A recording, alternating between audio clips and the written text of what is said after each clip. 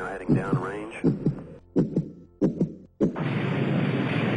To the unforeseen eye, this appears to be an accident, but the reality remains that this traumatic experience could have been prevented.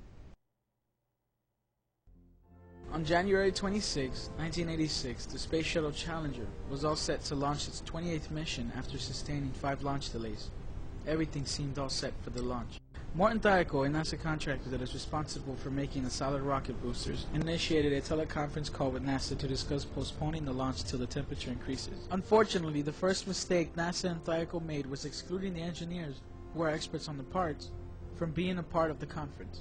The engineers knew that the solid rocket boosters could not stand the cold temperature that Florida was experiencing during the week of January 26th. The average temperature during the week was in the low 50s, with the minimum temperature to operate the solid rocket boosters being 53 degrees. Thiokol's engineers did not want to take the chance of something happening to the shuttle. Unlike the engineers, the managers of Thiokol were not thinking about the state of the shuttle. After five launch delays, the last thing they wanted was to risk losing NASA as a client. Thiokol's managers took a vote to decide whether to launch or not, also excluding the engineers from the vote. The managers decided with almost a unanimous decision to allow the shuttle to launch. The engineers just prayed that the temperature would increase by launch time. On Sunday, January 26, 1986, the date the Challenger was set to launch, the shuttle was delayed once more due to a mechanical error with the door hinge. The launch was postponed for the last time to the final launch date of Tuesday, January 28, 1986. The engineers' worst fears were realized when the temperature on Tuesday dipped down into the lower 20s, which was much lower than the rocket boosters could handle. One of the head engineers at NASA told the manager to call off the launch due to the low temperature, with the manager replying, If we don't launch now, we will not be able to launch again until April. Against NASA and Thiokol's engineers' wishes and advice, the shuttle launched at 11:38 a.m.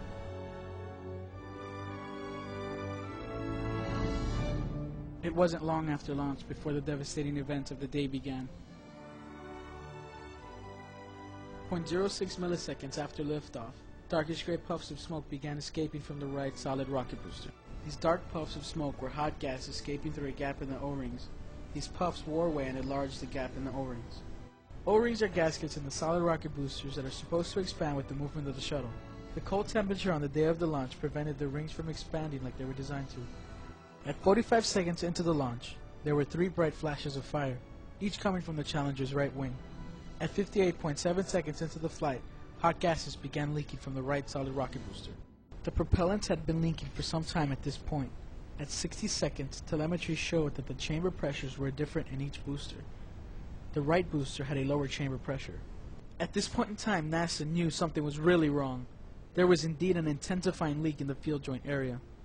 At 62 seconds into the launch, systems control began reacting to the differential pressures in the boosters. They lowered the pressure in the left booster to counteract for the lack of pressure in the right booster. Unfortunately, this did not solve the entire problem. The rocket booster breached the external fuel tank at 64 seconds after launch, changing the color of the plume cloud. Within 45 milliseconds of the breach, the fire from the plume began roaring down the backside of the space shuttle. At 73.12 seconds after launch, a white vapor became visible from the side of the external fuel tank. This was the beginning of the structural failure of the external fuel tank. The failure caused massive amounts of liquid hydrogen to be released, suddenly creating 2.5 million pounds of forward thrust, pushing the full hydrogen tank upwards into the intertank. At the same time, the rocket booster impacted the intertank structure and the lower part of the liquid oxygen tank. Both the external fuel tank and the intertank system failed at 73.137 seconds after launch. This was confirmed by the white vapors appearing in the intertank region. Within milliseconds, there was a massive, almost explosive burn-off of the hydrogen and the liquid oxygen in the area of the intertank.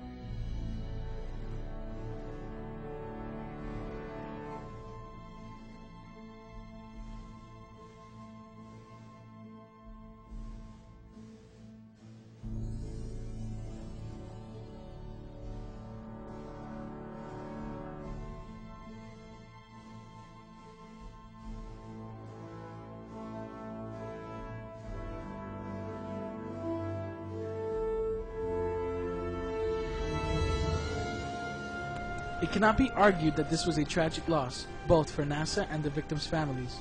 But from this loss spawned great reconstruction and well needed adjustments to the NASA program. Prior to the incident, NASA and the Morton Thiokol Corporation had been working together since 1974. Despite the disaster, they could not overlook their long and overall successful history. As a result, NASA decided to continue their partnership with Morton Thiokol after the Challenger incident. Thiokol, worrying about a bad reputation, decided to change their corporate name to ATK, or Alliant Techsystems, in hopes of leaving behind their tainted reputation along with the Thiokol name. ATK still produces the now redesigned rocket boosters for use on NASA shuttles. The redesign did not stop there. NASA, following Thiokol's lead, redesigned many parts of the shuttle that may have led to more problems in the future. The redesign included major rounds of improved parts for the temperamental main engines that were often viewed as risky. Other improvements included new fuel pumps, oxidizer pumps, power heads, heat exchangers, and combustion chambers. The full-scale redesign was accomplished by the year 2000 and cost an estimated amount of $1 billion. NASA also took the action of creating new and improved statistics for flight risks. Previous to the Challenger incident, NASA statistics read about a 1 in 100,000 chance of a disaster. Presently, it reads a 1 in 78 chance of a disaster during launch. It was also announced that by 2010, a new generation of spaceships would make their debut and forever revolutionize the economic and safety of space shuttles in America. There seems to be no question that despite the struggles and setbacks, NASA is putting forth an honorable effort for the improvement, innovation, and the continued American dream of reaching for the stars.